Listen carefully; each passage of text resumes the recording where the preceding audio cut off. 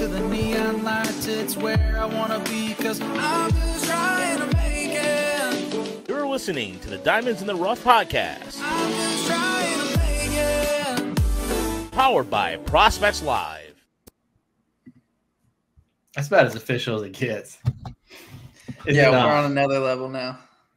Yeah, we're back. It's uh let's see, it's now Wednesday. I'm so used to saying Thursday. Wednesday, May 11th.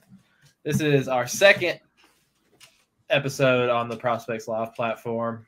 And our schedule should be good now. Should be on Wednesdays for foreseeable future with with the flashback show on Saturday.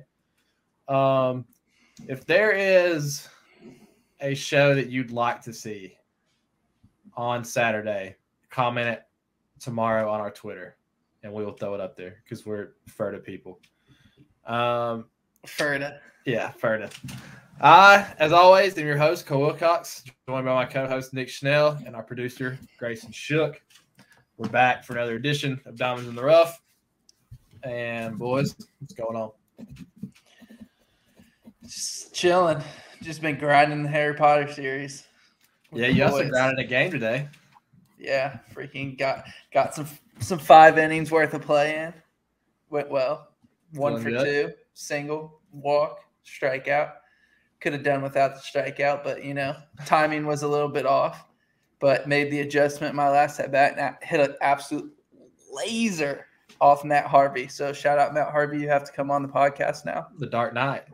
hmm He has to come on now because I'm his dad. Yeah, if that's the case, so does uh Rodone.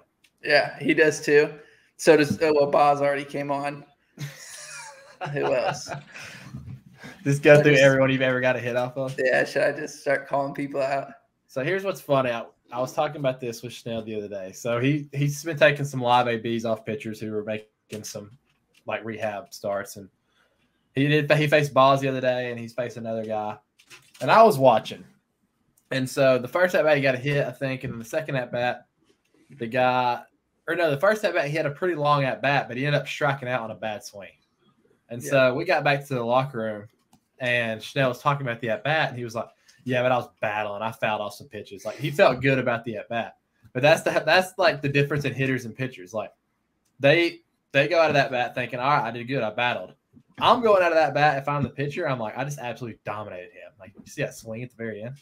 It's just funny how Yeah. pitchers and hitters are so different. Like because there's no defense in live BPs, so there'd be Well, a that's ball like the hit. Like, confidence side of things. Like we owe it, like at least me, like I try and find the positive and everything. So I'm like, all right, yeah, you just battled the quality at bat. You saw probably eight pitches, goes down as a quality at bat. Next time, just freaking get on top, whatever it is, get on top of it and drive in again. And I mean, you, you don't want to strike out. I technically lost the at bat, but in my brain, it was a good at bat. yeah, Uh, it I'm makes sense. frustrated. It, it makes sense, but it's it's funny how you look at It's stuff. polar different. opposite. Yeah, and if there's like a chopper up the middle, then it's like a big debate. Like, oh, was that a hit? It was definitely a hit. The pitcher's like, nah, no had one of chance. Yeah. Yeah, that's that's a big that's a big live BP debate too. Uh, No infield there. we've had some uh, some DNR athletes lately make make some big splashes. Uh, none more than Alek Thomas getting the call up and hitting a double in his first game. So I mean, it was a matter of time. Like the dude, the dude raked last year. Like his numbers in AAA were stupid. Even when we interviewed him. He was. I, he I was think we should probably drop year. that one Saturday. Honestly, Yeah, But- true. I feel like that makes sense. So yeah, you'll hear from him on Saturday if you haven't heard from him before. But awesome interview, and we talked about his numbers. I guess in 2021 when he was he hit like 320 in AAA for 60 games or something. Like he was ready to roll. So it was good to see him call him up and and him make a splash. And he's he's pretty special hitter for sure. And Shook sent me a tweet earlier. I think I tweeted out on our account. Yeah, I did. Henry Davis in his first double A at bat going yeah yeah. It was a nuke too. So So, I mean, listen. if, if you're willing to come on this pod, clearly it translates to the field. So uh, don't don't be don't be shy. Don't be shy coming on DNR, and it's going to give you that boost that you need to get you to the next level. Sure. no doubt. what is there anyone that stands in the way of Henry in the Pi- in the pirate system? Uh, no, not really. Um, Yeah. AAA catchers are uh, Carter Bins is a guy that they got from the Mariners for TA Tyler Anderson, and then um, other than that, it's just a bunch of guys that are kind of hanging on. So he's. You think he's, he? When do you think he makes his debut? Well, see, with the Pirates, a lot of it depends on how they play. Because, like, if they're sucking, you know, next year or towards the end of this year, then there's no reason not to call him up. I mean, it can't get any worse. But on the flip side, you also don't want to ruin him and, you know, kill his confidence because he's out there struggling against guys. He doesn't lack confidence. You ain't gonna do that to him. yeah, I mean Henry's kind of an exception there, but I think sometimes you see guys that kind of get rushed up, no, and definitely. it kind of uh, kills their confidence.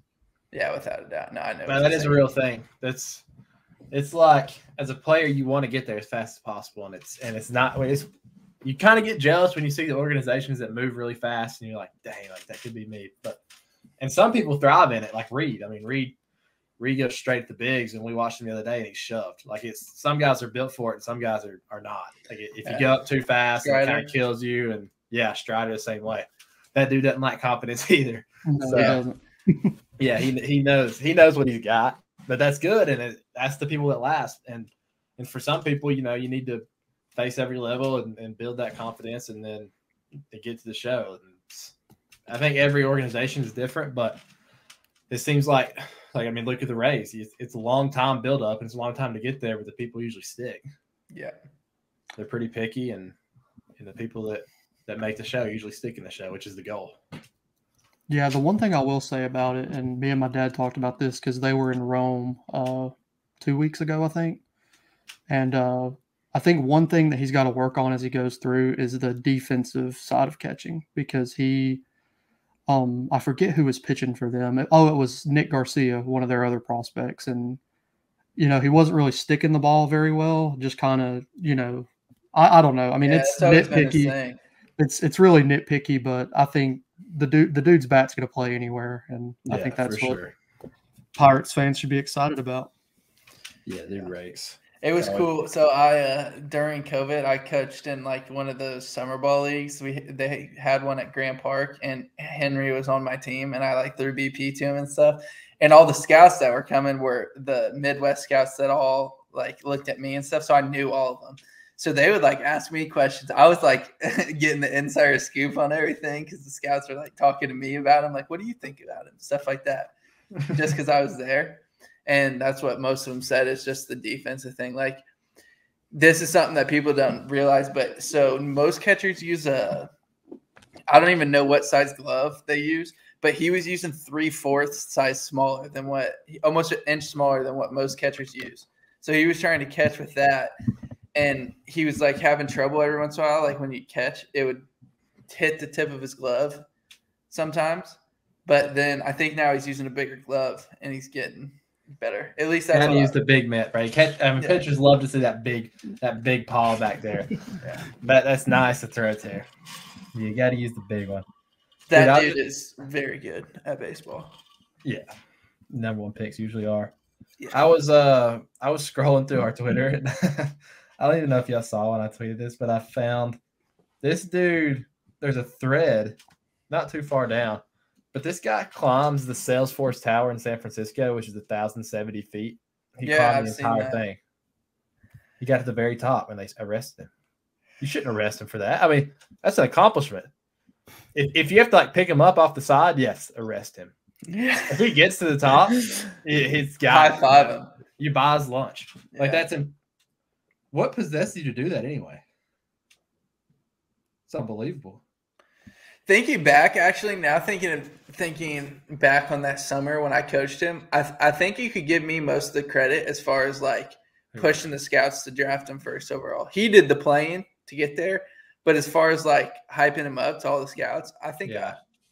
I, I, I deserve like what. And you know, and you know they took your words like sacredly. yeah. Sure.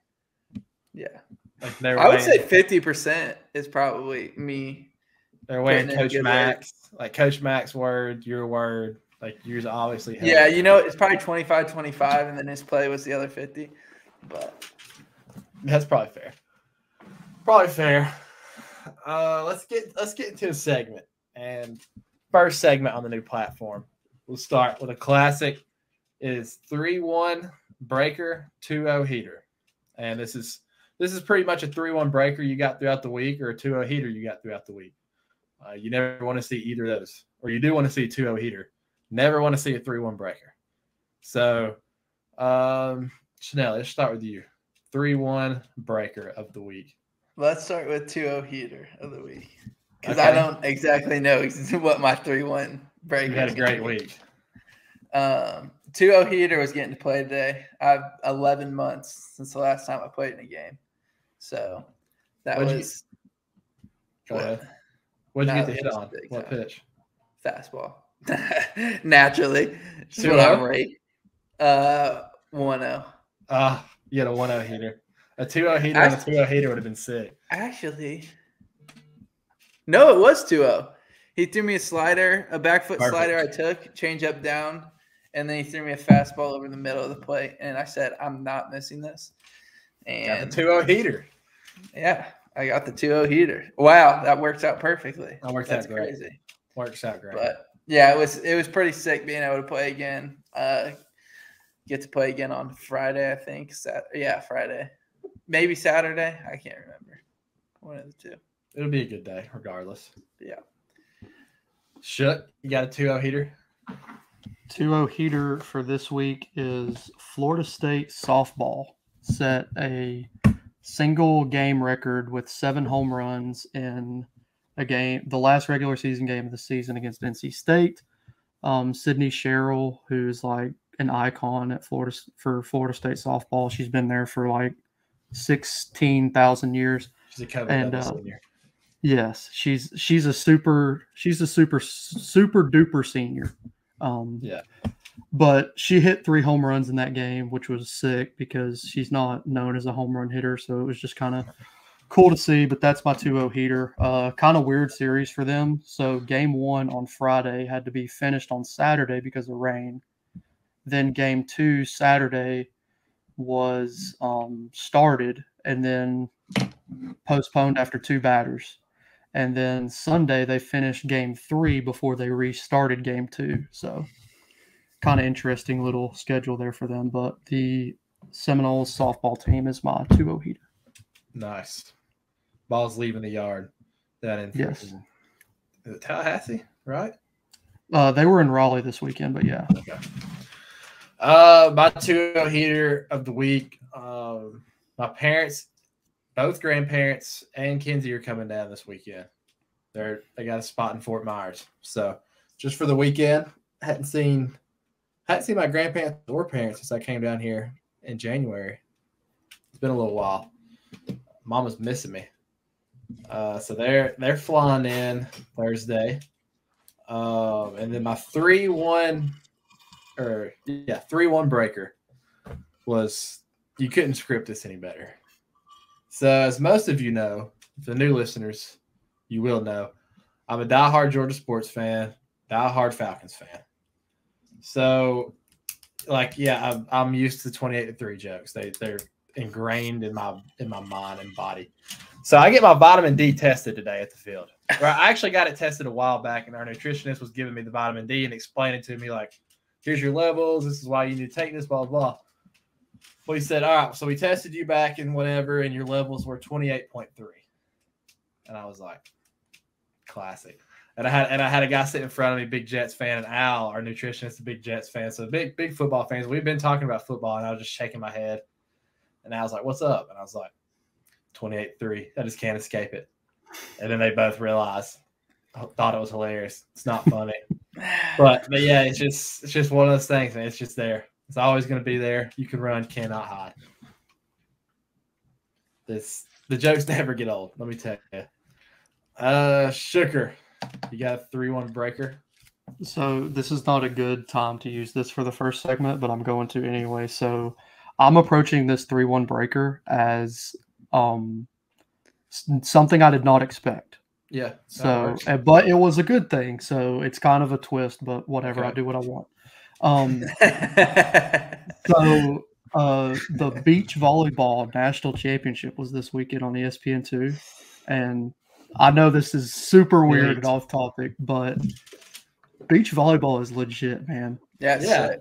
The, the beach Florida- volleyball in the volleyball's Olympics sick. is sick. Yeah.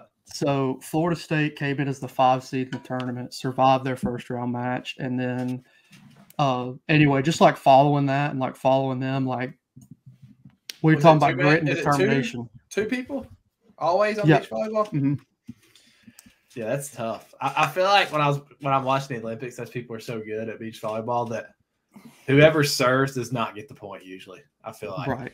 Right. Yeah. like Like if you if you if you don't get the ace and it plays out, you're getting whacked. mhm, Like things get coming at you quick. yeah. And if you do save it, it's a big deal. So like Yeah. that's those are electric matches. Yeah. They lost both matches to USC three one. That's and not fair. They beat USC's like dominant in beach volleyball. Like I I, can see think why. they've I think they've won like four national championships since it moved to the NCAA. I would Checks say. West Coast teams are are solid at beach volleyball. Yeah, and so Is that an one- NCAA sport or no? So it wasn't until 2016, and so since 2016 they've won four championships, which is I think four out of six or five maybe. Nice. But uh, so one of their pairs had not been beaten all season. They were like 38 and 0, and the Florida State number two pair beat them, which was sick because they were both redshirt COVID super seniors again. So the COVID super seniors for Florida State had a good weekend. I guess is what I'm trying to say. nice. Schnell, you thought of one yet? You need me to go again. You got another one? Well, I just thought of one. I just thought of one. This is getting ridiculous. So I'll go keep thinking. So this Florida is notorious for lizards. I mean, they're everywhere. They are everywhere. And the naturally, like sometimes they get in the house. I don't know where they get in from. They come from like I have two in my room, there's a big sliding glass door, and then the living room there's a big sliding glass door. Somehow they get through there. I don't know if there's a crack or something in in the seal. Who knows? But they come in. But dude, ever since I've gotten here, they get bigger and bigger every time I see them. It's like I don't know if it's the same one and it just grows, but when I first got here, like I see them in the shower sometimes, and they'd be like little small ones. And the other day, I think I I'm gonna end up posting it after I talk about it. I was sitting in the living room, and there was a dang dragon roll up, and just like like right by the, the table and chairs. I'm just sitting in the recliner. It's Sunday. I just cooked breakfast and I'm eating it. And I look up and this thing is like doing push-ups over there by the window. It is massive. So I don't I've got I've got an issue with these lizards and, and if they keep getting bigger, I'm not gonna have enough room for them in the house. so that's that's my three one breaker. I still don't really have one. I guess the only the only three one breaker, which isn't like it wasn't unexpected or anything. It's just I'm ready. I'm ready for Carly and Bo to be down here. I miss my I miss my son. Yeah. So Yeah, I would say so. Had to be pretty tough. yeah. Dang, did I save that lizard video? Yeah, I did. yeah, it's massive. Like how big we talking? Like iguana big? Yeah, I mean, dang near. Here, let's see if you can see it on here. Good lord. Yeah, That's, a, that's an alligator. Yeah, there's John. Oh, speaking of alligators, when I got back, um, I went out to fish for a little bit, and dude, it was from the houses that are like so. You know the place where we walk up to the fish in that pond, Cole, Which one? the one like right across the street. Yeah, yeah, yeah. Those houses on the other side, it was walking in between the houses, dude. It was massive. Like I saw it walk all the way down and into the water. Like And then I would I kept wanting to move to fish another spot. And dude, I was terrified because I would be seeing it, and then right when I'd start walking, it'd go under. And I had no idea where it was at. And I was like, I'm gonna get eaten by an alligator. But alligators are terrifying. I don't. I, I sacked up and still went moved around. That that pond that was the dad strength kicking in. Yeah. Hundred percent. Speaking of dad strength, if if you guys don't know, we've already talked about it, but I hit a home run in my first light BP back after having a son. So it is Yeah. true.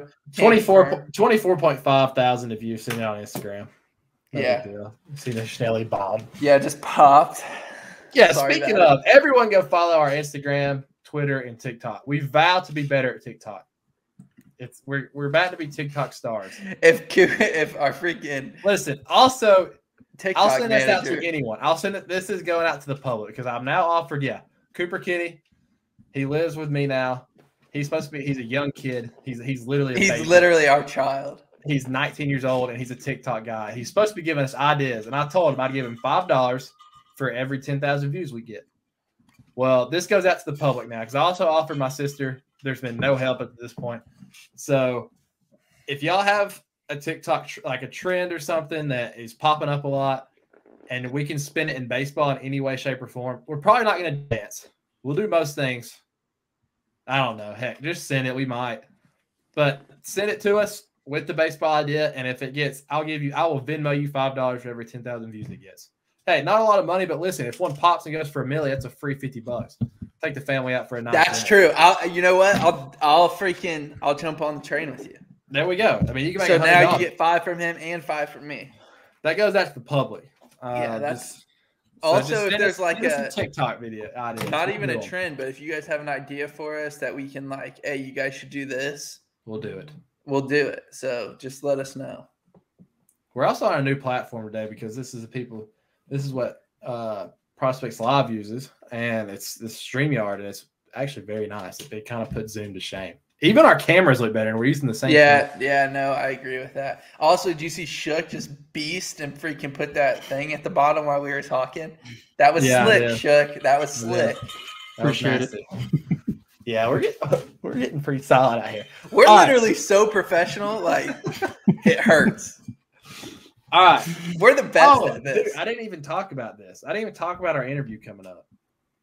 Our interview is the legend, legendary pitcher and legendary pitching coach, Rick Honeycutt. Uh, he's the interview was incredible. He's it a was- freaking thesaurus for baseball Yes. information. Yes, that's a big word, Schnelly. Thanks. Yeah, he it was he was spitting out baseball legends like like they were barbecue sunflower seeds. Just it was, it was Reggie Jackson, Thurman Munson. It was like, dang, this is sick. And he recalled every pitch of every at bat he ever pitched. He literally has a, a perfect memory. We're gonna have so many clips. He remembers when he was born. It doesn't get any better than that. He remembers everything ever. It was crazy. Oh yeah, it was it was awesome. He could have talked all day too about it. He was the man. He had a sick he had a freaking sick baseball crib set up. Too, Yeah, he did. Back What's some freaking crazy stuff that's going on? And what's something crazy that's happened in MLB or something? well last freaking- night? Um, so Oh. the hat just came apart. Josh Naylor. Yeah, so we've talked about on here before. On my hat is completely broke. I look like a scrub. Um, I don't even know how to fix it without looking at it either. Dadgummit. Okay, I think I got it. So we've talked on here before. you got a freaking melon, by the way. I That know, yeah, that boy is stretched to the unit. brim. Your head gets any up all my bigger. You're not, your brain gets any bigger, and you're not gonna fit in any hats. I know, and I'm going back to school this summer, so I'm screwed. I'm gonna have no hats. Anyway, back to what's crazy going on in MLB. Um, we've talked about how I forget who got upset. I think it was the Nationals. Somebody was still attempting to score when they were up six runs in the ninth inning, which, in my opinion, is not enough to be upset about. And I've always said that. I, I think unwritten rules in baseball are stupid. I think until the other team, my college coach told me, if they're going to keep trying to score, we're going to keep trying to score.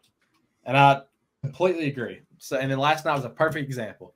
Indians down. Oh, that was the I word. Um, Guardians. the, the Guardians down six runs going in the ninth, tied up, win it in extras. So I don't ever want to hear they're running up the score. And there was another game. It was Phillies Angels maybe, and they were the Phillies were up. Or no, no, no, no. It was the uh, who who was playing. It, Phillies were playing somebody because Aaron Nola dealt Mets the Mets. They yeah, it was eight to one, seven to seven to one, I think seven to one, And- six runs again.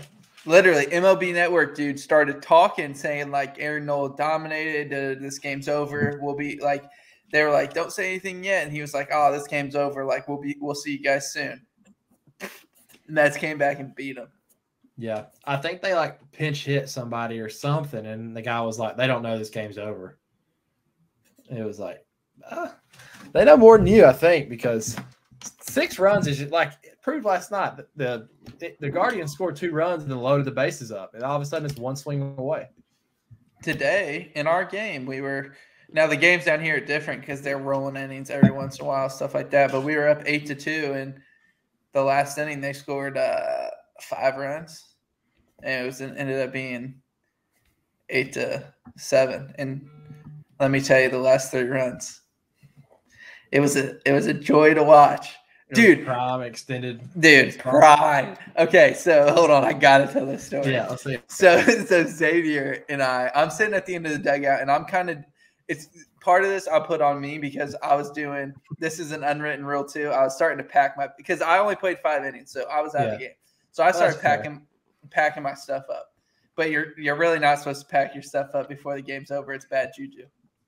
But anyways, so we have two outs, and they've already scored a couple runs. And this dude tries. There's two outs, r- remind you, and this dude's stealing third. Dude hasn't delivered. Steps off. Our guy who's pitching steps off.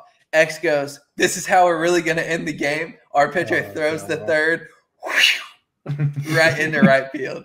They score. I look down at X and I go X, and he goes, "Everybody heard that?" And I go, "Yeah." but it was, dude. There were literally three errors in the last inning for uh, for uh, that we made. That the game should have been over way before that. The game started at noon. It got done at three. Brutal. It's not good for the pace of play. No, it wasn't good for my freaking well being. That's what what good for. on the road too. You got your Dude, first, game game back on the road. What are they doing? Yeah, that's that's That's dreadful. for That's the thing about, uh, I do love baseball though. I do love Yeah. it. I'll go pitch in Alaska right now if that's what it takes. That would be sick to pitch in Alaska, actually. Yeah. Yeah. Alaska's sick. I, I- that's one thing I want to see in my lifetime is the, the Northern Lights. I want to see that. Yeah, that'd The freaking Aurora Borealis. Dang it, boy. Yeah, I know. I know things. That's it. I mean thesaurus and that.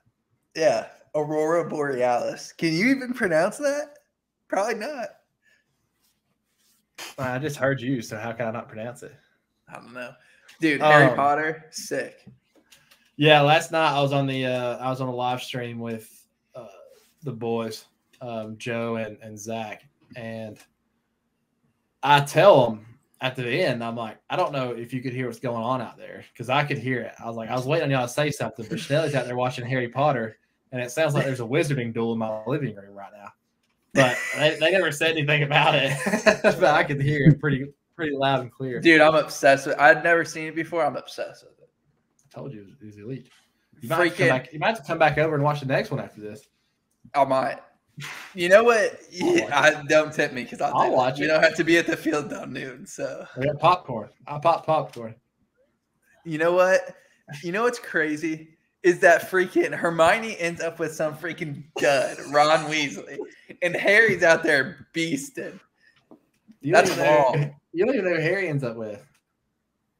Uh, yeah, I know, but I don't need You, to. see, you don't know. Just relax. Just keep watching. Um, before we get to Rick Honeycutt, this is everybody's favorite segment. Um, Schnelly's kind of proven that that his mind is working a little faster these days, and I don't know if it's because he's he's now a father or, or what it is, but because I'm a dad. dude's sharp as a tack. Like he's he's out here dropping knowledge on us, like Yeah. like they're freaking A bombs. Um, Schnelly, put us in a pickle. All right. There's two I'm considering right now. I think I'm going to go with when does it stop being partly cloudy and become partly sunny or when does it stop being partly sunny and become partly cloudy cloudy Okay. It's kind of like it's kind of half half empty, half, half full. empty, half full. Okay, here's let's see let's see if I can describe this. This is wh- when I was thinking about it, this is what I came up with.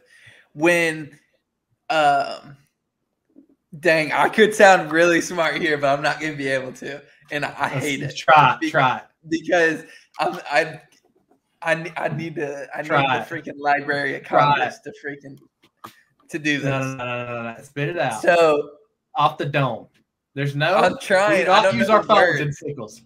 And I I'm not know, I prepped. know. Me or Sugar are not prepped for this pickle before it's asked. I know, but I don't know the. So the way I'm thinking about it is, what is a rain cloud called? What kind of clouds? Rain cloud. Cumulonimbus. I'm just kidding. I have is no that what it is? I have no idea. I was gonna try and like call call them specific I clouds. need but I Mike think Trout on here. He's a big weather guy. Is he? Yeah, he's done like he's like big into weather. He loves it. That's He's gonna be a weather guy one day. I think that he's gonna be fine after he's done playing baseball to not have to. Yeah, but it's, but he loves it. Like he wants to do it. really, he, the wants to be a meteor. He wants to be a meteorologist. Another big word. the proud look after that came out. That one wasn't that. good. Okay. Anyway, everybody knows so- what that is. So if the sun if the sun is shining and it's a blue sky with like white clouds, I think it's partly sunny. Okay. Now when the when the clouds start getting darker as if like rain is going to come, like you know what I'm saying, like Yeah, a, yeah. a front's coming in, Yeah. that's when it starts being partly cloudy because that is like the rain's coming. I'm not sure I've ever heard partly sunny, but but I'll Yeah, just I I, take haven't it when I was That's what I was reading it today, say. I don't think I have either. but I'll just take it as when is it partly cloudy and when is it not? Like what's the line? Yeah. To me, it's not. It's not. If it gets to the point you're talking about, I think that's just cloudy. Here's what I think partly cloudy is: when the sun is consistently like the clouds are moving, but the sun is getting blocked by the by the clouds every like five or six minutes. You know. So And it's, a nice. duration thing. And it's nice. It's like hot out, and then like the sun is blocked for a little bit. And you're like, oh, please stay there. But you look up and you see they're moving pretty quick, and it's like, dang, this is gonna be like a 30 second bomb. Gone. Here in a couple minutes, it goes by again. That's partly cloudy. So it's it's part duration, and is it part? Because uh, sometimes there's a lot of clouds in the sky, but they don't ever block the sun. It feels like. yeah. So it's not. So that's not partly cloudy. So it's not the amount of clouds. It's more of the I think I think it's the positioning of the clouds. or let's see how I can word this. Or the Try actions. the actions the clouds are carrying out. Like if they're blocking the sun consistently, then it's part in cloudy. the positions that the clouds are in.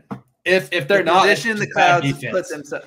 The, the position the clouds put themselves in. If they say yes, exactly. Okay. The the defense they're playing on the sun.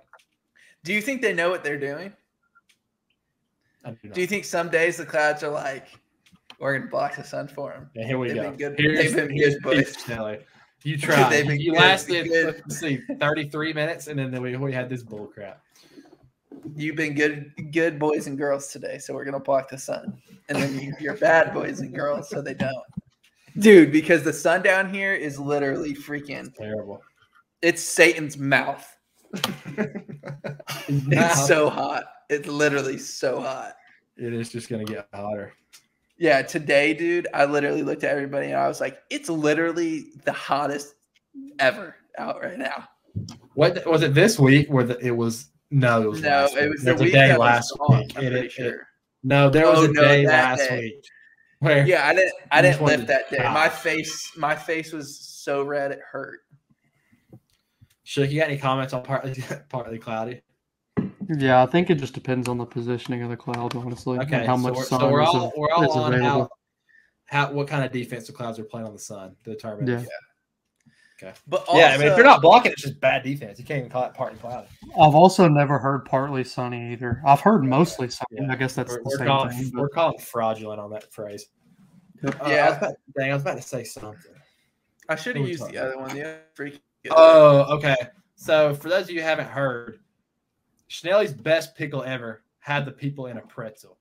Uh, it was just tell it, Schnelly. And what, or I don't even know if I can say it the right way. Give us the gist. How important do you have to be to be considered an assassination and not just a murder? Like, what makes Yeah. it? Like, what what is your important your importance? And the best part of it was everybody was sending us stuff. I look up the definition, and there's no true definition. It was the There's no answer. And, and People say- been- go ahead. People say like politics and like um or like religious gain, but like freaking the dude from the Beatles, John Lennon, they consider him an assassination. And some people consider that religion, but they don't really know why. No one knows why he was killed. So, and they say assassination. It's it's a legit pickle. It, it pickled people up, and so we've been trying to get one back like that since then. Yeah, dude, And it wasn't even just- on the show. I know. You dropped it on Instagram. I freaking whipped that out on first time. Instagram, huh? Yeah, that was sick. Popped. Yeah. Maybe I'll put the other one that I thought was pretty good on Instagram or on uh, uh, on the on the you do that. TikTok because the other one's pretty good, but I should have used it. Dang it, man! I, I fricked up. Well, that's the show. Uh, we're gonna get you over to Rick Honeycutt. Like we said, awesome interview. If you're a fan of baseball in the slightest, this is the one for you. It was awesome.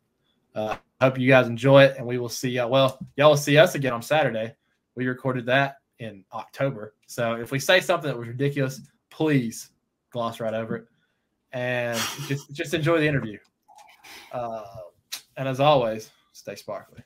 Today we welcome on another very special guest, um, former former pitcher and pitching coach of the Los Angeles Dodgers, Coach Rick Honeycutt. Coach, how are you doing? Good, good, Cole. How are you today? Doing really well. Um, and honestly, it feels like I'm talking to a ghost here because uh, the the name Rick Honeycutt holds a lot of weight back where I'm from. Uh, hold pl- played on Rick Honeycutt Field growing up. Well, actually, this weekend they're having a big, uh, big. Uh, I'm throwing out the first pitch. They have the um, opening ceremonies, but we're having. Uh, I'm excited about. They're having an alumni for uh, uh, really anybody that played in the PRA. When I grew up, it was called Post Recreation Association up there around um, Barnhart Circle. Okay. And my dad and a bunch of the uh, guys back then uh, that built that, field, and then they built the the next uh, little league field, and then of course they've added several more fields up there. But uh, yeah, that uh, place is uh, true to my heart up there. That's where the first first place I got to you know play um, organized baseball, and uh, we had some pretty good little teams when we were growing up, and uh, a lot of fond memories back there. Yeah, no doubt. Um, it's that, that area's gotten really nice the last couple of years, especially the baseball fields and stuff. They put some put some money into it for sure. Um, so do you still live in the Chattanooga area, like right now? Yeah, I live in Ringgold. Uh, my wife, uh, we moved back here when I traded from LA to Oakland. Uh, my kids were, oh, they were like four and seven at the time. So my wife wanted to get them stabilized somewhere in school. And um, we moved back. First, we moved back to Signal Mountain, and then uh, we moved off the mountain, I think, in oh, about 97 or 8. And then in 2004, uh, my wife uh, found some property. We got 100 acres out here in uh, Ringgold. So she's got some horses. And so, um, uh, yeah, we've made our home here since in the Chattanooga area back since uh, 88. Gotcha. Long time. No way you had the heart to send your kids to the enemy to Ringgold. no, they went. They both went to Baylor. Okay.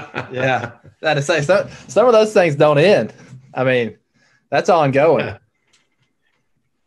But yeah, uh, yeah. No, we well, like I said, we were on Signal Mountain, and then as they grew up, then uh, they went to they were going to have to go, I think, to Red Bank, and that wasn't going to work. So uh, we went to. Uh, they both graduated from uh, Baylor High School here in Chattanooga. Okay. All right, cool. We actually, uh, I'm sure you know, but we have a guy down here rehabbing us with us now, Cooper Kinney, who went to Baylor, uh, one of the Rays first rounders, and so he's actually living with Right. Schnell right now. So he's Yeah. down here representing Baylor, doing it well. Yeah, But Well, he was. I I got to keep up a little bit with him. My uh, brother-in-law was the trainer over at Baylor uh, Okay. for for a long time, and uh, of course he's he kept me up. And so I'd I'd look on uh, the internet and stuff, keep up with him. I guess uh, his senior year they really had a, a really strong ball club. So uh, yeah, their team was loaded. Great, great season. no doubt about it. Uh, but I wanted to wanted to get into your playing career a little bit, and uh, I don't even know if you know, but and I don't know if you were talking to my dad about this or what it was, but you had mentioned it was when I was going through the draft in high school, and uh, you had mentioned your college days and talked about just how much you enjoyed playing at Tennessee, and um, it was kind of the first time you were away from home, and kind of the experience you got there, and that weighed a lot on me when I was making my decision. Um, a guy like you who's played 20 years in the league, coached in the league, and you talk about how how fond of your college memories you were. Um, what what made you go to Tennessee, and how did the recruiting process work at that time? Yeah, it um, nothing like probably what you had to go through. You probably had you well, you had the scouts knocking down your door too, so you had you had a little bit more going on. Even though I did get drafted by Baltimore out of high school, but not till the thirteenth round, and so the money wasn't uh, wasn't what it uh, is that you probably had to make the, that decision on. Um so. Um, you know, most of the SEC schools around here, I mean, Vanderbilt pushed really hard, Georgia pushed really hard. Uh, I had two buddies that signed football scholarships up at UT, Jay Bass and uh, Steve Poole. And so we were all in the same class, grew up together, and they went to UT. But I, I pretty much grew up kind of a UT fan. And even though UT baseball probably wasn't as strong at that time, Vanderbilt, I know it's been a powerhouse, but UT didn't have the baseball power that they got here the last couple years. They've obviously been been off the chart here the last couple years, but uh, I just wanted to go where a couple of my buddies were going. I was a big UT fan, mainly football fan, but went up and saw the uh, you know the facilities and what they were trying to do, um, and I was just you know comfortable going to UT. Uh, uh, Vandy had um, a couple guys from Chattanooga that I knew that I played summer ball with, but they were both a year older than me. But um, kind of just came down to comfort level where I wanted where I wanted to go, and um, uh, so I I chose chose Tennessee, and like I said, I enjoyed uh, that experience. Like I didn't have that choice of the big money, so it was like me just coming down to you know where I felt most comfortable um, where to go to college and and um, you know keep keep trying to get better and get uh, eventually drafted again. Yeah. What what would you say was the biggest adjustment you had to make from coming from our town to um, a big school like University of Tennessee? Well, um, you know, I mean, uh, obviously the competition is there. I was able to, you know, go right in and and be one of the uh, weekend pitchers, uh, which was which was was neat. I didn't have to be the opening day. I was probably that first year probably pitch, you know, on the.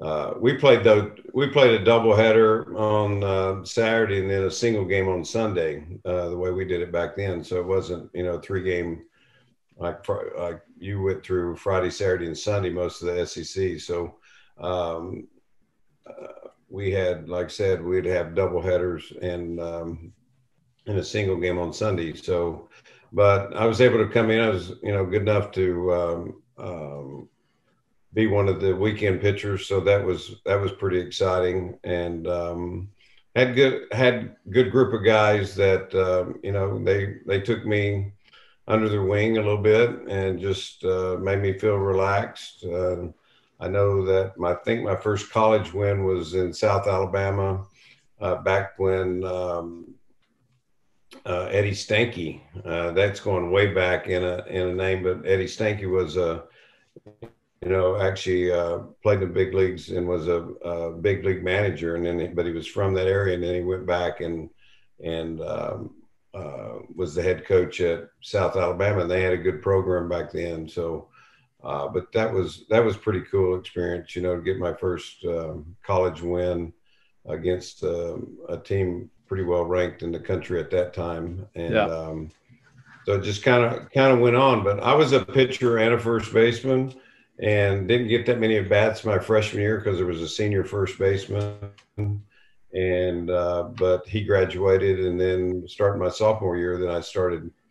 Um, either playing first base or DHing even the games that I didn't pitch. So uh, I was able to pursue hitting and pitching, and um, actually was drafted as both. When I left when I left Tennessee, I don't know if you know this, but I was actually an All American first baseman at Tennessee my senior year, and Yeah. um, uh, so uh, Pittsburgh drafted me, and uh, I DH'd every game and pitched every fifth day or whenever the you know the time came and but then then went to instruction league and and there they pretty much uh, kind of switched me over to being you know full time pitcher after after that. Yeah, I was I was gonna say. I mean, obviously everybody knows you as a pitcher, and but not only were you uh, All American hitter, you had the SEC batting title at 404. You could swing it a little bit. I also Well, saw that you're. Go ahead. No, that was uh, you know, but you know what? For me, Cole, it was um, you know I didn't get drafted after my junior, which most guys like you, you, you get drafted, you know, early on, and and it really was kind of a wake up call for me not to. And I was, you know, pitching pretty good in the SEC and still hitting. I think even that year I hit 370 something. And I didn't get drafted at all. You go through all the rounds not getting drafted, and it was a real wake up call. And I really um, kind of had a heart to heart with myself, sitting down as like, you know, well, I'm going to go, you know, make this senior year to be the best I can be. I gotten uh, probably uh, even worked harder in the weight room and got, you know, just in, in great shape and, and was able to have a, you know, real, real solid season, um, you know, hitting and, and also pitching. I mean, I just love baseball. Just, I want to be on the field every day. So I got that opportunity to do that. Yeah. And, uh, remember the scouts coming around. I mean, they liked they liked my my swing, but I was not, you know, probably didn't have the, you know, the metrics that going to be like a big home run hitter. And um, they worked me out in the outfield and and um, things. And you know, several scouts that I talked to later, you know, they said, "Well, I had you down as a hitter," you know, and other guys go, "Well, we like, you know, we liked your command and da da da da da." And so whatever. It just worked out. It worked out. You know, I just got the opportunity to play, and then, you know, got the chance. Uh, I was didn't even after all that year, the senior year, I didn't get you know didn't get drafted high, and it's just like, hey, you know, just go go take your chance and you know um, do the best you can, and things worked out. Yeah, for sure. And, and before we moved on, I was gonna I was gonna ask how much you're keeping up with the team there now because they are rolling. Yeah, I talked to uh, coach every now and then, but I mean, geez, uh, when they went down to Mississippi and swept them, I mean, I knew they had a good club, and even our uh, Dodger scout, I, he lets me know every time he goes down there, and he's like, you know, these guys are really, really interesting, and and uh, I think they're going to be really good. He said all three start, you know, all three of the weekend pitchers were dominant, and that's even without Tidwell Yeah. who I saw pitch last year up there.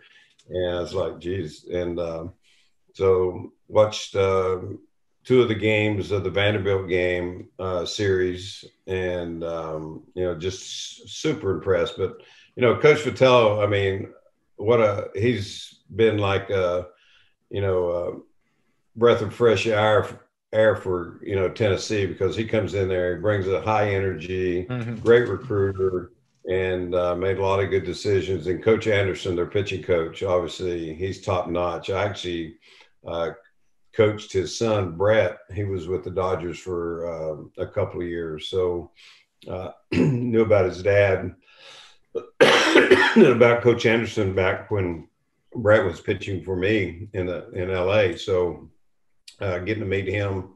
So they do the thing. They do things right up there. They they pitch well good defense, and obviously got a. Uh, they have right now. They have pretty much about everything that you'd look for Yeah. from from a team. So they're they're pretty exciting right now. Yeah, I've I've said before we got to get Coach Vitello on the show because he seems he clearly recruits really well. So he's got he's got to be a good interview. He seems like a high energy guy. Would be fun to talk to. Um, yeah, they, you can tell from the team since he's been there. I mean, they take on his personality, and it's uh, he's got some fire in his belly and shows it every day. And they play with the chip on their shoulder, and they go out there. And I mean, what they've been doing this season has just been off the charts. I mean, um, I mean they're they've got it working. That's for sure. yeah, it's it's not often you see a team, especially in the SEC, as you know, it's it's not often you see a team just like look head and shoulders better than everybody they're playing on weekend series. That's tough to do with, know, with the amount of talent in that conference. they've got you know talent at every position, but what really stands out to me because being a pitching coach and being a pitcher, and you know watching, I mean those guys they run out there with with the ball every every night. That's pretty impressive stuff they're throwing out there. Those starting pitchers, all all three of them, and they're young. I mean, Yeah, two of them are freshmen, and one of them is a sophomore. And like I said, Tidwell is just now coming back, so. Um, that's I don't, I don't think there's probably any any other school in the country that can match up those those four arms, you know, No. coming at you every, every night. No, and I saw they're getting a guy back who me and Schnell played with in high school, Seth Halvorsen. He's another high 90s arm. I didn't even know he was on the team, and I saw he was coming back. I was like, Lord have mercy. I thought he was at Missouri. He was at Missouri. Clearly, he transferred. I didn't know it, but yeah, that's that's another big time arm. I mean, he was he's Yeah. explosive stuff. Throws gas. Yeah. I tell you, that guy, guy sitting on the bench probably play in a lot of different places. So, uh, you know, that that's a wealth wealth of talent that they have, and um, uh, like I said, it's a tribute to Coach Vitello to be able to bring in those type of people that want to, you know, be a part of uh, something great. yeah, yeah. So you had mentioned that you got drafted as a two way, obviously, and was DH DHing or playing first and, and pitching every fifth day. And I saw your first your first start in pro ball. You started, you hit fourth in the lineup, and you homered in your first at bat. Um, as cool as that is to play every day, that had to be super taxing on the body. Uh, I was just used to it. I mean, I, I just came to the park every day to play. I mean, I know obviously pro ball is different. The part that gets you in pro ball, especially at those levels, I mean, you're bussing everywhere. So, Right. you know, you're you're you're doing it, you know, every day. It's your job, and now all of a sudden, uh, it becomes there's no days. You know, there's very few days off. So, I mean, that that part you just had to you had to get used to. Um, but um, it. Um, um, you know, I started out in the New York Penn League, and I mean, those trips weren't that that bad. It's just you know the late nights and traveling on a bus and sleeping when you can, type deal. Double A was that that became tough. We were at that time we played in Shreveport in the Texas League, and you go from you know all the way from Shreveport to El Paso to Amarillo, Midland, all those. Um, but it was on a bus. You know, we had no no flights. Where I think nowadays, at least Double A, you know, those further trips would at least put you on a flight uh, so you could get there and get some rest. So a little bit things have changed, but uh, yeah, that that was you know each each step. I mean, it's uh, you you've got to you know figure figure things out, take care of your body, uh, get your rest as best you can. And uh, it's tough sleeping on those buses, though, those uh, 10, 12 hour bus rides. Yeah, It's impossible. No. So were you upset when they took the bat out of your hand? I, you know, not real. I mean, it's just you know, at, at that time, it's not really your choice, you know. So they they're making the they're making the choices, and and uh, obviously uh, it worked out for me. So Yeah. obviously they knew they knew better than I did what what the quickest route was there. Obviously, I got uh, extremely you know huge break later in that that uh, '77 season, um, getting traded. Um, in August to an expansion team. So uh, got really that was you know the break that um, you're looking for to get that opportunity to go to uh, you know an organization that doesn't have as much talent uh, in their system yet, and uh, was able to uh, you know go from Double A uh, right to the big leagues and. Um, you know, got that opportunity and, you know, never, never went back to the minor leagues. Yeah, I, I didn't actually realize that that it was to an expansion team. I didn't notice that. I did want to talk about that trade though because I'm getting this on Wikipedia, so who knows how accurate this is. But it, the way it reads, it, it were you a player to be named later in the trade? Correct. Uh-huh. So you've So got to have I- an argument for the best player to be named later ever. Because there, there's stats out there that. that's like they're bad for guys with that label.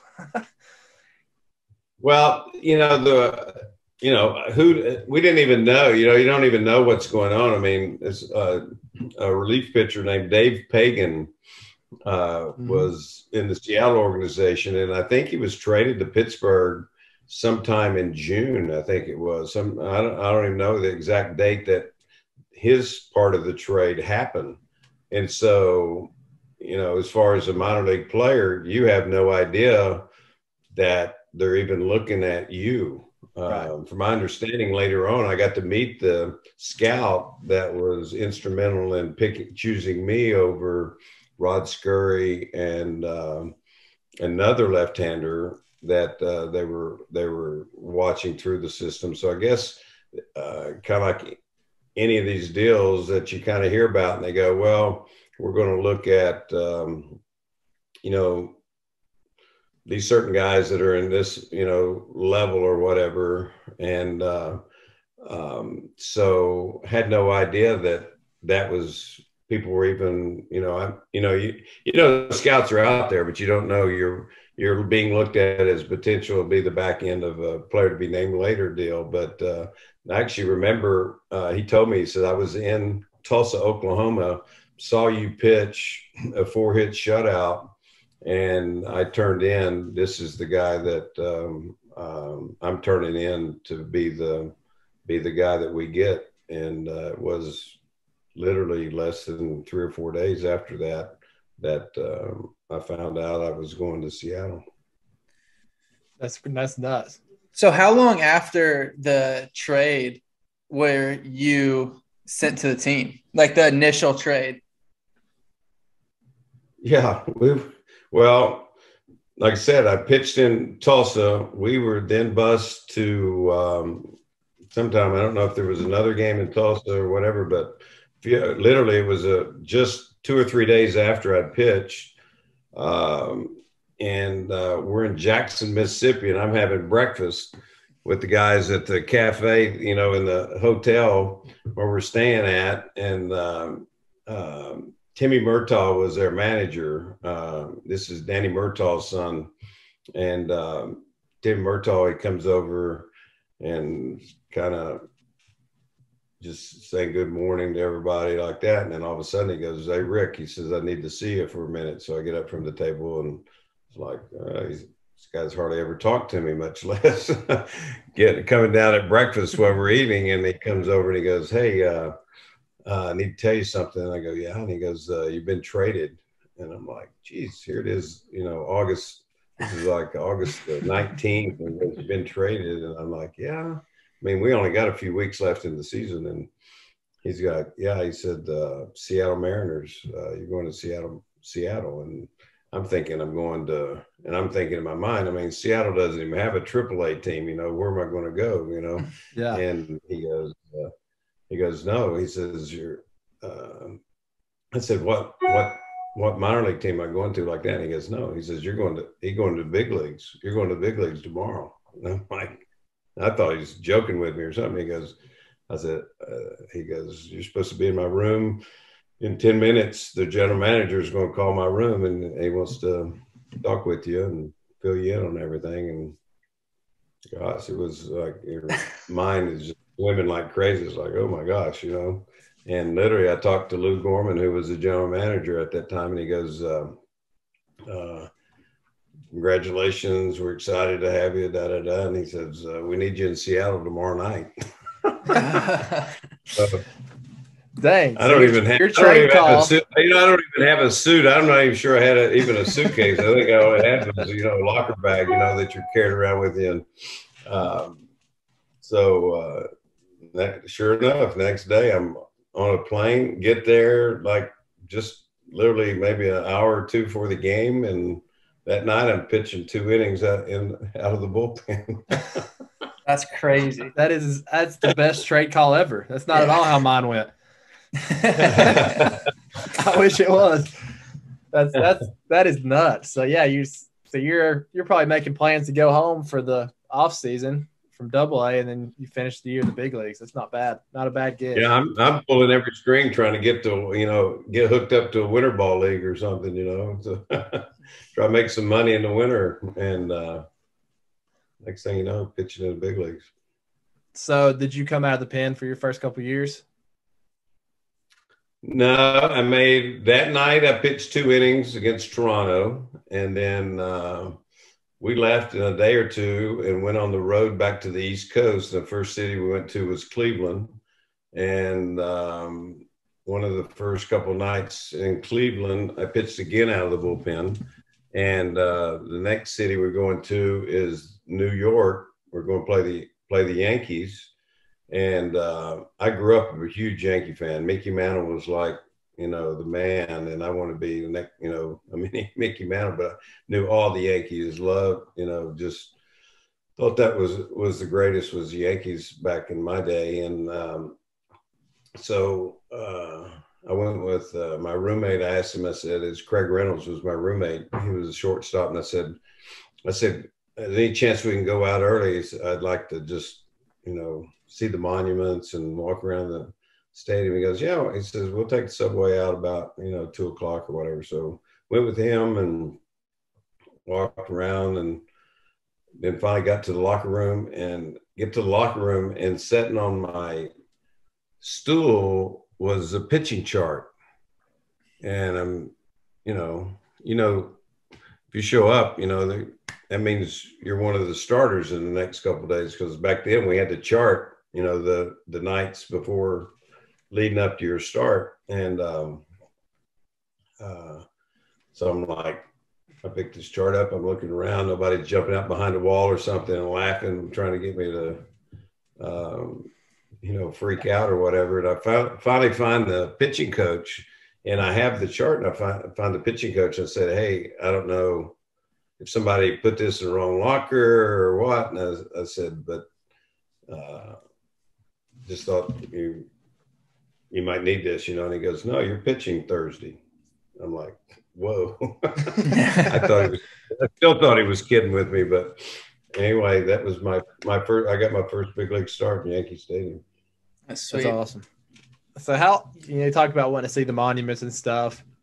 How long did did it take for you to kind of like mentally go from being a fan of baseball at the highest level to being like, oh, I'm a part of this. Like this is this is the league I'm playing in now.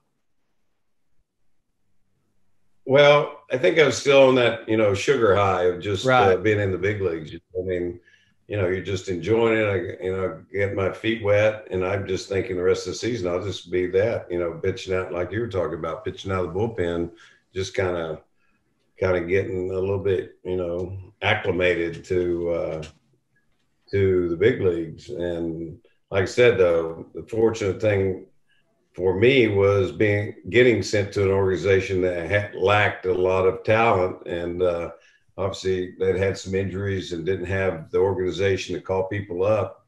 Uh, so you know i got i, I made um, you know i started the rest of the time i was up there that that that summer. So um, i got that night and just uh, you know just you know took the ball from there you know didn't uh, didn't do great didn't do bad. But i got to tell you real quick i mean that first night i'm warming up. And catfish hunter during that my day catfish hunter like was one of the men. I mean he just had pitched with the oakland a's. He was like one of the first big free agent signs and the yankees signed him to a five-year deal. And our pitching coach had been his pitching coach in oakland and so when I'm warming up that night, he's over there talking to the pitching coach, Wes Stock. And I'm like, man, it's Catfish Hunter. Okay, I wonder if he'd sign my base, you know, sign a baseball, you know. But uh, he he he put played it cool. He didn't, you know, didn't say anything, didn't do anything. You know, every once in a while I kind of glance over there, but he's like, I'm sure saying, Hey kid, you better concentrate on what you're doing because the Yankees had won the World Series the year before in 1976. So it wasn't, uh, you're not going against, uh, Yeah. you know, your average, average team up there. And, but um, anyway, finally finished warming up, go out and um, take the mound and do my warm up pitches. And Mickey Rivers is walking up to the plate. And the first pitch, I go into my wind up. And as soon as I lift, I'm left handed. So obviously, when I lifted my right leg, my left knee just started shaking so bad. I mean, it's quivering. And I somehow just went ahead and threw the ball. Well, I threw it and it almost drills Mickey, you know, the first pitch. I mean, he goes down hard. And um, so I'm thinking to myself, well, I'll just act like I kind of meant to do that, you know, and get the ball back. They don't know my knees shaking that bad, I don't think, but get the ball back, take, a deep breath. Oh, try to relax a little bit, get the sign, fastball away, boom, shake my head, go to wind up again. This time it's quivering just as bad. Throw the pitch, and this time it is right at his head, right at his head. I actually scream, "Watch out!" I mean, I thought I drilled him right, right in the head, and he goes down even harder. Look, kind of glance over their dugout. They're all on the top step, screaming bloody murder. Call me everything in the book. Um, and now in my mind, I'm going, "Oh my gosh, I've never experienced this, had this experience in my life. I don't know what's going to happen here. And uh, get the ball back, try to relax. This time it's not the not shaking as bad. Throw the ball. Mickey jumps out of the way. like I'm uh, at him again. He just jumps back, and the, thank goodness the umpire called it a strike. But um, anyway, Mickey then gets a infield hit the next pitch. Willie Randolph is the second hitter, takes the first pitch to right field. I got first and second, nobody out. Thurman Munson coming up, and I'm going through my mind. I'm like, this, this is going to be the shortest outing anybody's ever had in the major leagues. I'm not going to get anybody out. What's you know, holy! I'm just going, oh my gosh! And somehow the count got to two-two. My catcher puts down a breaking ball. I snap one off. I get struck a swing and miss from Thurman Munson, and I'm thinking I'm so relieved I at least got an out. You know, get a get uh, Thurman Munson out really kind of gave me a lift. Yeah. Uh, get Reggie get Reggie Jackson's next, get him out. Chambliss gets a base hit up the middle. They score a run, and I got Nettles out, and somehow survived that first inning. And uh, but uh, I'll never forget that experience that night. That was just unbelievable. Yeah, that'd have been something to clear the benches on your first ever thrown pitch in, in the league. Yeah, that'd have the been, first that'd have two been, In the first first two pitches that you throw. that'd have been something. Uh, were you ever involved in any bad ones? Like any ones that really blew up? Yeah, I hit a guy. Um, I protected. Uh, they uh, they had a pitcher named uh, uh, Bruce Kison. Was kind of known as a headhunter, and um, I think he was pitching for the Angels at that time. And so they'd hit our best hitter was Buddy Bell, and so didn't the manager didn't say anything, catcher didn't say anything. I just you know, I'd always been told your job as a starting pitcher is protect your own, you know. And um, he had knocked down a couple guys, but he finally he ended up hitting Buddy. And so their their best hitter on their tank on the Angels at that time was Rod Carew. And um, um, so Rod Carew, Rod Carew coming up, future Hall of Famer, and I just drill him right right in the ribs, you know. and uh, they didn't they didn't throw me out. And back then you know you were allowed kind of like the one payback i guess uh, type deal. But uh, they were screaming and yelling you know. But um, i guess the worst one was against oakland.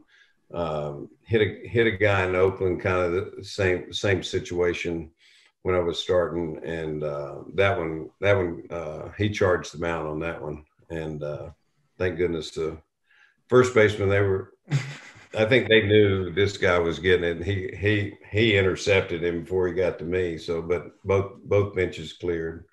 Uh, probably the best one I'd ever been in though was uh, I was pitching for Texas in uh, in Texas, and we are playing the A's again. And Billy Ma- Billy Martin was the manager, and we had a right-handed pitcher, uh, Danny Darwin, and they had a DH named Cliff Johnson. And I don't know what had happened somewhere before in the past, but anyway, he drilled Cliff with two outs, nobody on, just like I'm drilling you just for the heck of it. And so Cliff takes the hit, goes down to first, but now he's on first. There's two outs. The next guy hits a lazy fly ball to center field. Well, Cliff starts running to second, gets about halfway, decides he's going to make a left hand turn and charge the mound. So he then proceeds. Next thing you know, him and Danny are, you know, on the mound going at it. Everybody's coming out. And uh, this one, it, it lasted you know, longer than most of them. The umpires couldn't do anything. Martin was in the middle of it, and finally, uh, I mean, a big pile in on the the mound there, grass area, and finally Martin comes up out of the middle of the pile. His jersey's all torn off of. He's got blood coming out of his ear, and he's screaming. All right, guys, that's enough. That's enough. He says, That's a good one. Okay, let's play some baseball. that's good stuff. Yeah, that's uh that's gotta be pretty pretty scary though when you got, you know, a lot of a lot of big dudes that that pissed off coming out, you know, ready to rumble. Hey, uh, something going on I mean, because guys are going to get hit. Right. You know, guys, in my mind, guys are a little bit more protected. I mean, it doesn't happen quite as much anymore. I mean, heck, the hitters, even if you just go inside on them, they're you know getting all bent out of shape just because you throw a ball inside on them. and um, I remember uh, when I was pitching coach there in L.A., we had Zack Greinke. Well, the A's, I mean the uh, this was the Angels. And they always try to pitch Justin Turner inside because that leg kick. They all try to pitch him inside, but you know they consistently couldn't throw they couldn't throw it in there and throw it where they want to, and he'd end up getting hit. And so he'd gotten hit, I don't know how many times. And so our pitcher was Zack Greinke that night, and Greinke drills their catcher, Montero, and hits him. And of course, then they kind of, there's a little ruckus on that. Well, of course, in the National League, the pitcher's got to come up at that time. So when now when Greinke comes to bat, I forget who was pitching for them, but their pitcher drills Greinke in, I mean, up by his head, up in his, you know, hit him like right in here. And of course, we're out, everybody's out of the dugout. Of course, as a coach, you're not supposed to do anything. The thing was that I was so ticked off about was that their guys had kept hitting our guys. So I'm trying to find their pitching coach. Next thing you know, they're, they're split, splitting us up. The me and the pitching coach, and the, you know, McGwire's got uh, uh, Mark McGwire was our hitting instructor at the time, hitting coach for the, and he had somebody pinned. I mean, it was. Uh, we all got fined because uh, coaches are supposed to separate things instead of getting into it. But just part of it. So how? I mean, we'll get to your coach in a minute, but how much say do you have as a pitching coach? Are you are you having to tell like Greinke there that you want the guy hit, or is he taking that into his own hands? Well, uh, it's it's not it's not always my call, even though we have in our talks against certain teams. You know, it's going to come up. Hey, we got to protect our guys. And um, so we would do that usually as a group of when our pitchers meetings would be, you know. So, a lot of times, usually though, it's not personally always me. It's probably the manager stepping in because he's like had enough of it and doesn't want to see it anymore. And um, so it was just that situation. But the actual, I mean, if it's actually going to happen, it's going to come from now there are guys that are going to do it on their own. Don't get me wrong. Um, yeah. uh, that are going to probably, you know, do something on their own. But most of the time, the manager is going to actually make that make that call. I want I want this guy down. Yeah. Um, so I, I'm sure you're tired of talking about this, but I was I was audibly laughing in the living room just now when I was reading about it. Um, I gotta hear I gotta hear about the thumbtack. gotta hear about it. All right.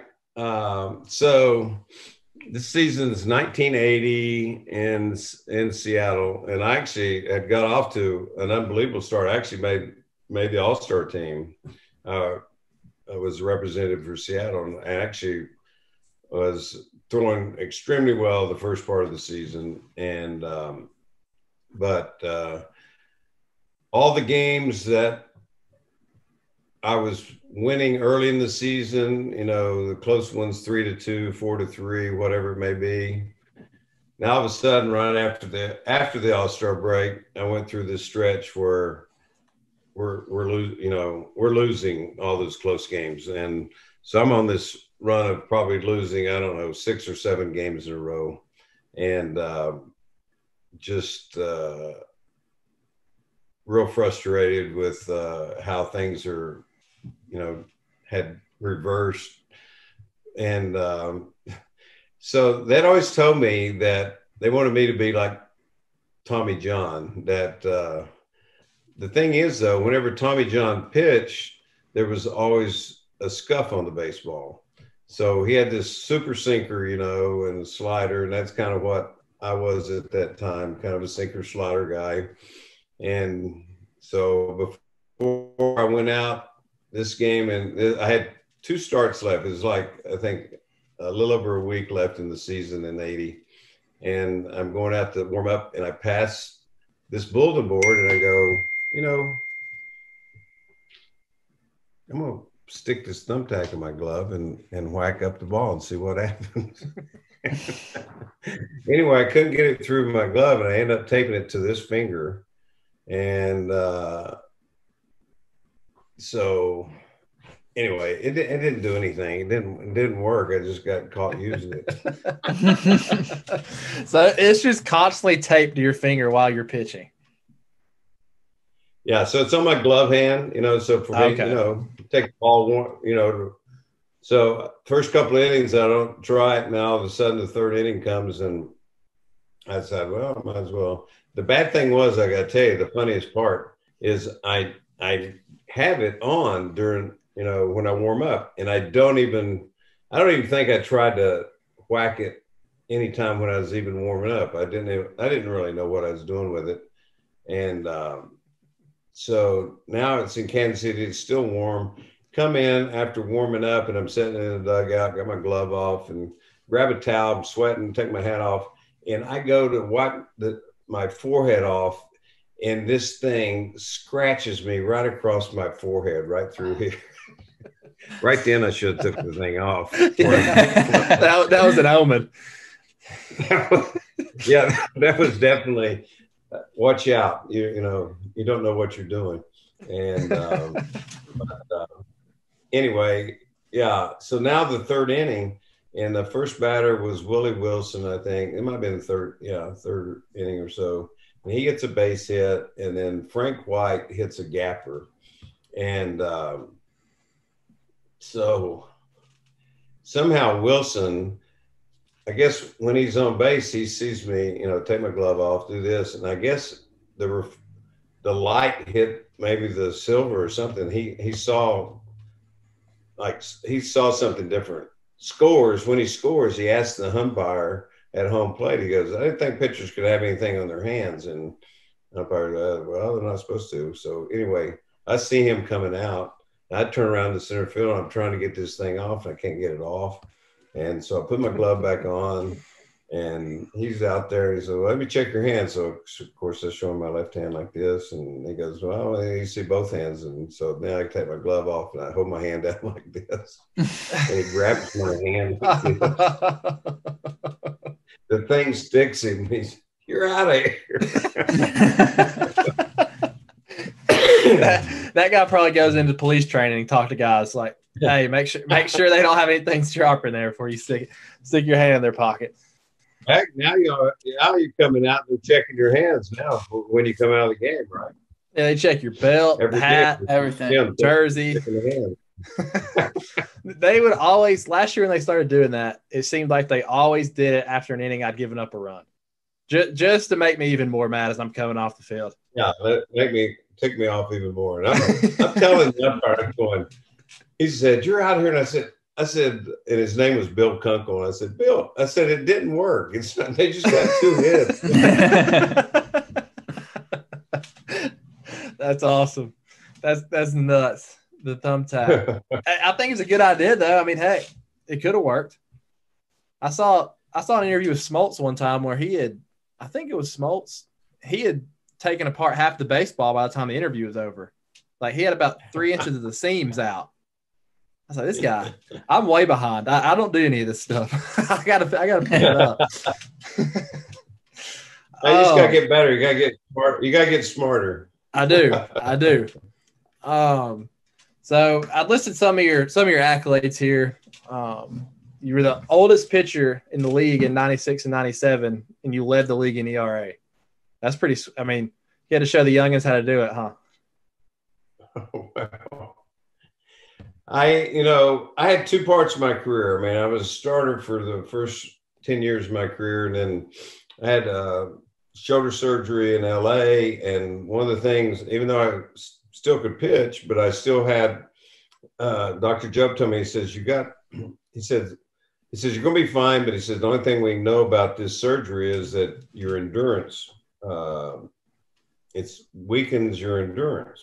And I'm like, what does that mean? And he goes, well, you're going to find, you know, kind of find out. And exactly was that. I mean, I just, I'd be fine and go, didn't matter the exact number of pitches, but obviously the colder weather or whatever. But so uh, that year in 87, I got traded to Oakland and pretty much my, you know, uh, they put me, you know, tried me in the bullpen and things, my stuff started getting a little bit better, but it was because I was using, being used in short, short period of time. And then uh, by the middle of that year in 1988, then I went to being what, you know, the setup kind of guy.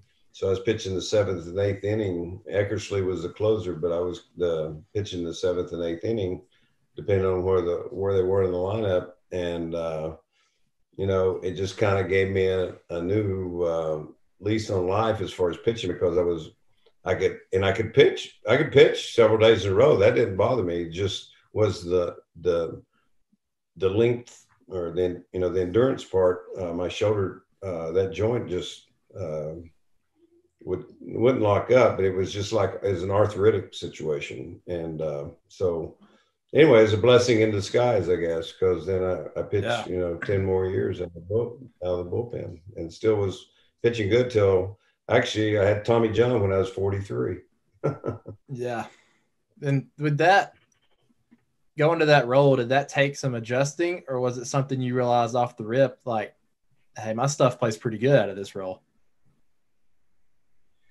Well, I mean, first part it takes adjustment just because of the you know the the warm up, how quick sometimes you got to warm up because every every situation is a little bit different. Sometimes it's got to go you know pretty fast, and other times you're starting an inning, but you never know what that situation is going to be. The good thing was in Oakland with the La Russa and Duncan, you pretty much they narrowed it down to where they knew you knew what kind of part of the the lineup that part of the lineup that was going to be your section.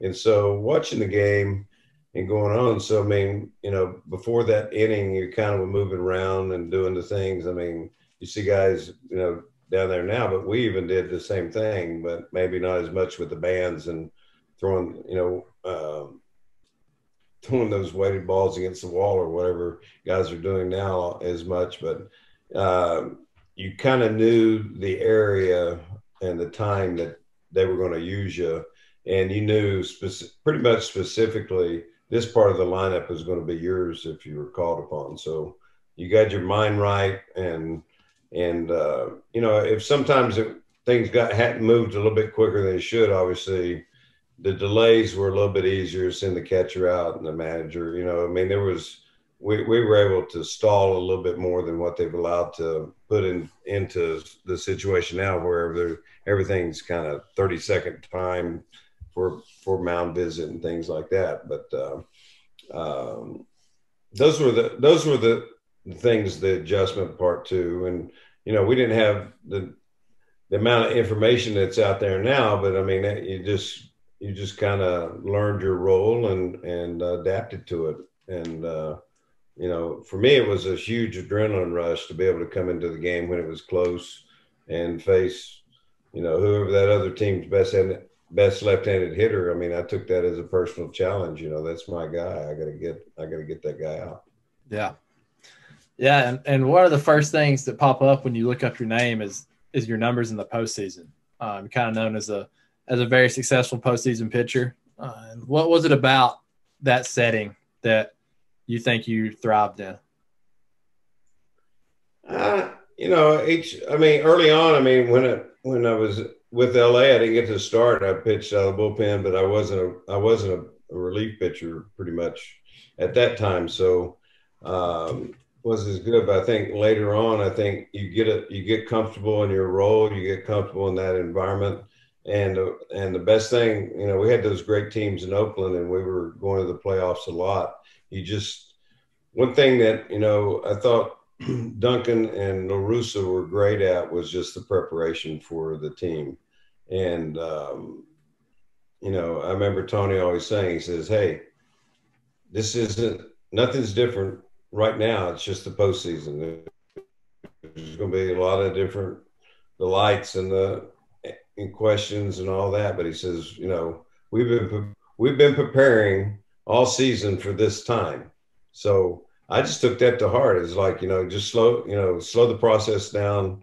Uh, don't let don't let your adrenaline get you know overwhelm you. Don't get moving too fast. I mean, just take stay within yourself and you know trust trust your stuff. I mean, you, all of a sudden you you know the adrenaline you can't stop adrenaline, but you know, it, w- it was the ability for me just to slow it down and not try to get outside of myself and just stay within myself and and and uh, execute pitches. Yeah, was is there any certain game or outing or at bat that really sticks out to you during the postseason? Uh,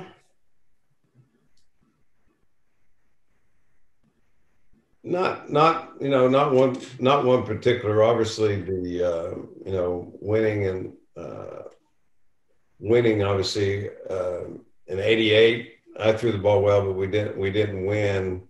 I mean, I actually got the only win in that series, and, and uh, I think it was game game three or four at home uh, when it went to extra innings. I pitched a couple of innings in that one, and uh, but um, I don't think there's you know nothing one particular. I can't I can't think of that offhand. I didn't yeah. I didn't look at it that way. It's just like you know they tell you to come out and get your get your guy. I think more you know um, each each one was was uh, uh, just a special moment. Just live in the moment. Yeah, yeah. And so obviously you had a great career through 20 years in, in the league, and, and like you said, a surgery ended that. Um, and then it was, it was a pretty quick transition into coaching for you. Um, and just and just talking to you for this little bit, like it, clear it's clear that you really love the sport and, and love being around the sport. So I assume that was a pretty easy decision for you. Well, uh, obviously I was 43 at the time that I retired, so my kids were grown. I'd already my daughter had already graduated high school and my son was 16 the year that I retired. And so my wife wanted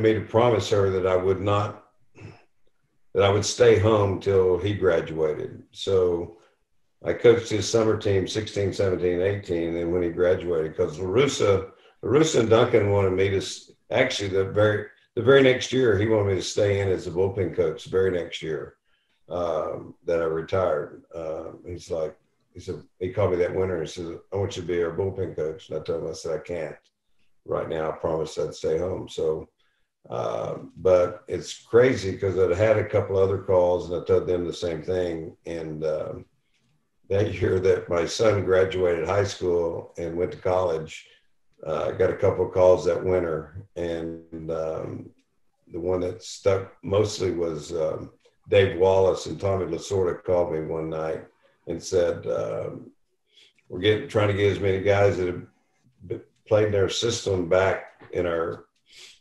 to uh, come back and be coaches." And um, so um, I didn't really know what role or what exactly, but I came to spring training, and after you put the uniform back on and get back on the field it made it pretty easy. But they made it also easy for me. They didn't, I didn't have to go and be with one team. I was kind of a, a rover uh, first, so I just I went through the system and evaluated our guys and did some teaching and, and coaching, obviously, and uh, then I became the uh, pitching coordinator.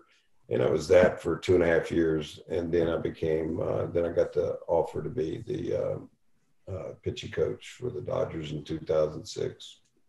Yeah. Um, I've always had this question. So as as a big league pitching coach, and obviously a guy that has your history, it's it's a little bit easier to relate to. But you're you're talking to some of the best pitchers in the in the world. Um, how how do you get them to, I guess, kind of take in what you're suggesting, um, and you feel comfortable enough to kind of to tinker with guys who have clearly done well enough to get to the, the highest stage? Well, um, you know, each guy's different. I mean, you got to handle each each person individually. You got to get to know them. You've got to show them that you care about, about them. You gotta you gotta earn their trust, basically. Um, I never tried to force anybody to do anything. It's always a suggestion. I have a suggestion, you know, try it or not, you know, pretty much. But one thing is, each guy, uh, you had to know a little bit about them, and you also had to be prepared. Um, so if I make a suggestion, I got to have a reason for it. It's not just because, hey, I think this will work. I mean, I had a, I would have a, a format down to why I think it, you know, and show them, you know, you guys are all, I mean, even now, you guys have all the you know TrackMan, Kinnes, you know Kenneth KinaTrax. You have all this information that's telling you spin rate. Well, early on, you know, even in 2006, we didn't have we didn't have all that stuff. Yeah. Um, you know, it was slowly coming in. So ours, my my visual over my time. I mean, to watch a Nolan Ryan, watch a Steve Carlton, watch a Dwight Gooden, watch Bret Saberhagen, Tom Seaver. I mean, these guys are all Hall of Famers. Martinez, uh, Mariano Rivera. I mean, you look at them and you're watching, and what happens is if you really break them down, you're seeing certain parts of their body. They all do certain things well, and they do it consistently. There's separation in their timing, and there's a flow to their to what makes them happen. And you have and they might go at different, you know, different speeds of their their rhythm, but they they all have certain things that make them, you know, who they are. And then whenever you you start looking at, and my thing that probably helped me the most was being around Sandy Koufax. Koufax was, you know, obviously a Dodger, and he coached. He was around when I was uh, a player with the Dodgers, and still around then when I came back in. Well, his main guy that he was around was a guy named Dave Wallace. And Dave uh, was actually the guy that came in and wanted me to, uh, like I said, he was one of the guys that called. And they simplified the, ba- the basic things, what you want to re- really look for and how, how to make things, how to be strong with your body and work down the mound. And um, so to me, it was always about trying to explain the basics. Where we where are we trying to get our power from? And them understanding the ground, the ground surface, how they how they going to go from one, you know, from their position to to landing and be in control, but also uh, produce as much power as possible. Everybody throws well, but it's like, what then can, how can we make you better to throw more strikes, to execute pitches better? Those are the things that guys have to understand. And then, uh, you know, even even Kerr struggled when he was coming. You know, his young guy, and what he always wanted to do if he got in trouble, he wanted to go harder, right? He wanted to go, you know, from you know 95 to 97. Well, he could throw 97. The problem was he couldn't control 97. He pitched well at 94 to 95 and threw the ball where he wanted to. And the other part was, you know, we you know, sitting down with him and showing him this is your spray, this is your consistent pattern. You like to throw glove side, but you're also your breaking ball. You're doing nothing to arm side to get the hitters off. They're all going to zero in on this side of the plate. We've got to do more over here, and how are we going to do it? And moving it, he was a guy when he started out. He threw from the third base side of the rubber, and I'm like, what if we just go to the middle part of the rubber? And then how about if we, instead of just being mainly fastball, curveball, can we come up with some an off-speed pitch that's in between that you can get over more consistent? And when he started getting the slider from 2009, you look at Kershaw's numbers from you know the All Star break of 2009 through his career, it's unbelievable. And just adding that you know that third pitch that he could command consistently and uh, you know, you made a, he's going to be a future Hall, you know, he'll be a first ballot Hall of Famer. Yeah. And I was actually going to ask, you know, when you got, when you have a guy like him coming up and he's young and he's there, do you know pretty early, like he's going to be special, just the way he approached the game and um, all, all the stories you hear about Kershaw and his preparation and, and all that. Did you see that pretty early on? Well, Kersh, of course, was a high school sonny, and um, so young guy taken, you know, in the draft in 2007, I think it was, and uh, six or seven, and so I remember the first time they sent him over and let him pitch an inning in a spring training game. We were playing the Red Sox. It was a night game, and the middle part of their lineup was they had a they had a AAA hitter batting, but behind him was uh, David Ortiz, Big Papi, Sean Casey, and I'm trying to think of who the next guy. But anyway, he comes in and he gives up a home run to the first batter, and uh, no big deal. There's a guy that you know I don't think ever made to the big leagues, but strikes out David Ortiz, strikes out Sean Casey, and strikes out the next guy. And so inning comes over. Here's a 18 year old guy coming over, sits down, and he's just got this big grin on his face. And, you know, most guys would be going, man, why did I make that pitch? You know, give up a home run. He didn't care. All he said was, that was fun. That was super fun. He said, that was, you know, and I could just see from right then that he had what it made because the game itself, it was like, and I know you're young and everything, you're energetic, but I mean, he didn't even worry about the home run. He just enjoyed the moment of being out there and getting to compete against the best. Yeah. And that next year they got caught up. The very next year he gets caught up, and the same you could see the same thing. Obviously, then when things went a little bit maybe not as good as he wanted to, that's where he started seeing that he had to go through the experience of some failure. And I always believe you're going to, when you fail, that's the time that you're open to some suggestions and maybe we can make, make some, can you make an adjustment here off of that? And he was able to make those adjustments. He, he took stuff and he put it, put it to work. I mean, yeah, he worked hard and did all the other things, but I mean, he evaluated himself unbelievable. And that's, I think, is the difference is because he uh, he evaluated himself honestly. He didn't make excuses. It's like I got I need to get better. I need to do this. I I've got to be able to land this pitch when when when I need to. And uh, this guy is like I mean he's out there. He's like a freight train coming at you. He just continues to pound strikes at you, Yeah. come at you and beat you. for sure.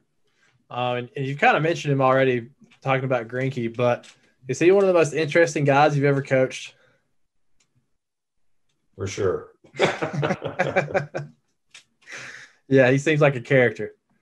Yeah, you talk about you know talk about as being a coach, and each guy you know you're expecting, but you know Zack Zack was unique, very unique. He, I mean, he knew what he wanted to do, but uh, he was another. You know, if you you look at the time he was there, I mean, Kersh made him better. Kersh makes everybody better because of his ethics, his work ethic, and the way he goes about his business. He just makes you better. Uh, you know, and Zack being around him, it's like, you know, I'm supposed to be one of the dudes too, you know, but you work, you work a lot harder than I do. If I want to be one of the dudes, we had Hyun-jin Ryu and Hyun-jin saw the same thing. I remember talking to Hyun-jin through his interpreter one time. Hyun-jin, after about three months, you know, in the big leagues with us, he goes, I want to, if I want to hang with these guys, I'm going to have, I'm going to have to up my routine. And so, you want that internal competition. It's not that they're competing against themselves. They're competing because they want to be they want to be associated with the best, right? You want to be the best. Well, you got to you got to do what the best do, and it's not just the physical training, but the mental train. You know, the mental side of it. Preparation for you guys. Part of it now. I mean, you got to get physically ready again, but you know, up here, preparing what you're going to do before you go out there and knowing what what how to you got to know what how you're going to attack those other guys. Obviously, you got great stuff, but how am I going to the second and time, third time through the lineup? And Zack um, was, um, you know, over time. I mean, he wanted he wanted less information, but but he wanted more specific information. And what I provide for him was, you know, this guy key strikeout situation if you get the two strikes, you know, maybe a back a backdoor slider on this guy's going, you know, is vulnerable. You might not want to show it to you. You really got to do it. But he loved that kind of stuff. He wanted something kind of unique like that that that he could pull out of the hat and uh because he could execute pitches, man. He could and um, he was pretty cool when he I called him when he signed that big contract with with the uh, with the Diamondbacks and he goes he goes man he says, "Thanks for all your help." He says, "You made you made me better." He said, "I got to tell you, so I, pro- I probably owe you a, a, little bit of. I probably owe you part of this contract." I said, "Yeah, one one or two percent." Never got it, but yeah, yeah, they sign some big boys these days. Um, Schnell, you got anything? Um, let's see. Okay, so you've named a lot of. I mean, obviously, you've played with a lot of good good players, and then you've also coached a bunch of good players. If you had to go with one guy, Game Seven of the World Series, who who you putting out on the bump? No, I put Kersh up there anytime. Yeah, yeah. I figured you'd say that. That'd be yeah. That'd be I mean, against. Kersh has gotten the you know has gotten you know the in my opinion the bad bad rap over, but early you know when he was when he was young, younger, he's still not super old by any means, but I mean, you saw what he did yesterday. I mean, this guy still is going to come at you with it, whatever, even though he's got his abilities are even, you know, have eh, decreased some. But I mean, go out and throw seven perfect on your first time out after not even knowing, you know, not having Tommy John surgery, taking the PRP injections, and not even getting off the mound till uh, th- start throwing off the mound till late late January. So um, I just hate that he had to go through all the stuff that he had to early in his career because we asked so much of him. Pitch out of the bullpen, you know, come back on three days rest. And he had to be, you know, he had to be the guy. I mean, he was the guy, but we, you know, we put him in, you know, probably some, you know, tough situations that he doesn't deserve, you know, that type of negative uh, criticism that they want to give him from from some of the playoff stuff. But uh, this guy is um, is a, you know, I I I during his prime, I'd take him I'd take him out there with anybody. Yeah. Yeah.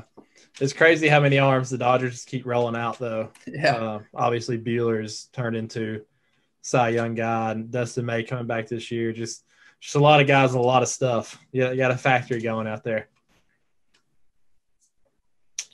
Well, I mean, they've been really good. This organization for over 50 years, and I, and I, I think it really goes back to the to the uh, Red Adams and Sandy Koufax and guys like Dave Wallace. That foundation, and not that they all those are the teachings nowadays, but I mean, this organization for a long time has had a lot of pride in pitching, and they produced year after year after year.